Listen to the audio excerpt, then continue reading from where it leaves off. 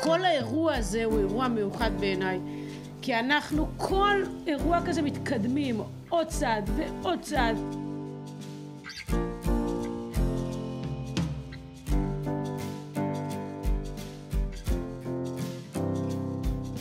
באמת מתשע בבוקר עברנו בין כל הוועדות והיו דיונים אמיתיים, רציניים, עמוקים. בסופו של דבר אני יצאתי מהארון בכיתה י"ב בפני החברים שלי, הם היו בעדי, באופן אירוני מי שהיינו צריכים להסתיר ממנו את הזהות שלי זה מאנשי החינוך.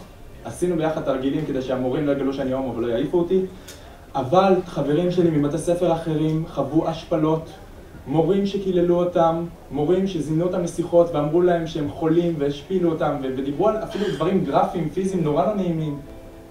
זה מאוד קשה, זה מאוד קשה לתלמיד לחוות דברים כאלה. וזה לא הוגן. זה לא הוגן שילדים צריכים לעבור דברים כאלה מהמורים שלהם, זה משפיל. בבתי הספר הומו היא עדיין הקללה הכי נפוצה אה, בחצרות. הקהילה גם מתאפיינת הרבה פעמים בדיכוי כפול. אם אני לסבית אה, וערבייה, אני סובלת מדיכוי כפול, כי אני גם אישה, אני גם לסבית ואני גם ערבייה, אם אני טרנסג'נדרית וכולי וכולי.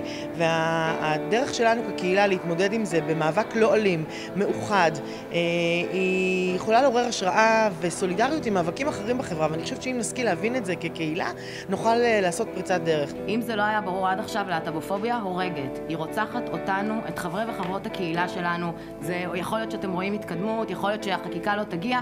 בני ובנות הקהילה שלנו מתים. לפני חודש ומשהו, אה, חברת הקהילה הביסקסואלית והטרנסית אה, אה, התאבדה.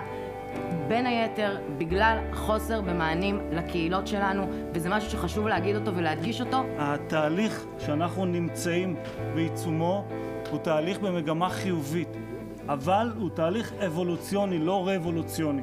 כולנו היינו רוצים להגיע ליעד, אנחנו בדרך לשם.